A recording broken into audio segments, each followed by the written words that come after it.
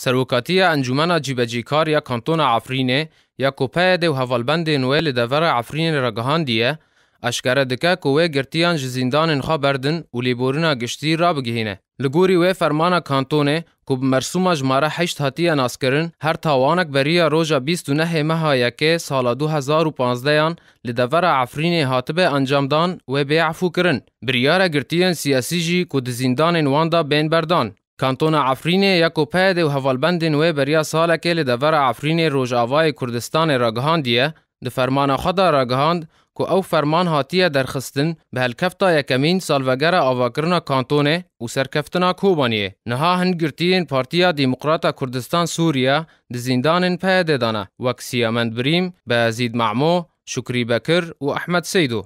û heta niha endamên heman partiyê li Efrînê Mehmûd Kurêş û Lezgîn Berekat ku du meh bi ser revandina wan re derbas bûye û hîn di zîndanên PYD'ê de girtî ne û tu çarenivîsa wan jî ne diyar e. Her wiha zêdetirî sal û nîvekê ye endamên Partiya Dîmokrata Kurdistan Sûriye li Efrînê parêzer Îdrîs Elo jî hatiye revandin û heta niha çarenivîsa wî jî ne diyar e.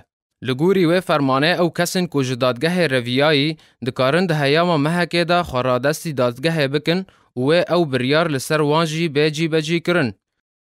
Sal û nîvekê berî niha li navendên leqên parastina siyasî û ewlehî û navenda dadgeha bi ser PYD'ê ve li Efrînê teqîn çêbûn û di encam de çar welatiyên sivîl jiyana xwe ji dest dan. PYD jî ew teqîn xiste stûyê Partiya Demokrata Kurd li Sûriye Al-Parti ku niha bûye Partiya Demokrata Kurdistan Sûriye û nêzîkî çel endamên wê partiyê girtin û ji aliyê Dadgeha Gel ya ku bi ser PYD'ê ve ye bi deh salan cezayê girtinê hatibûn hukmkirin.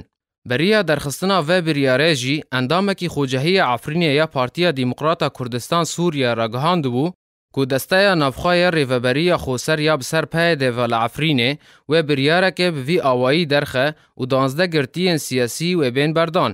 Endamê Encûmena Xocehî yê Partiya Demokrata Kurdistan Sûriye Şêx Seîd Zada ji roja nehê vê mehê de ji bo Malpera Rojava News ragihandibû ku endamên partiya wan wê bi fermaneke lêborîna giştî bên berdan.